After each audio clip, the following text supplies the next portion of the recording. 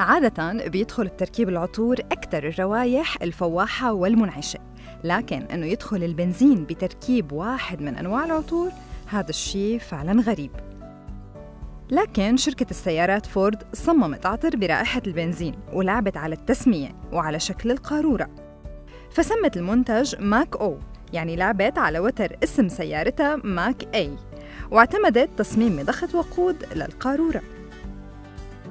وبعد خطوة الانتقال التدريجي لإنتاج سيارات كهربائية أجرت شركة فورد استطلاع عن أكثر شيء بيفتقدوه العملاء بالسيارات المزودة بالوقود.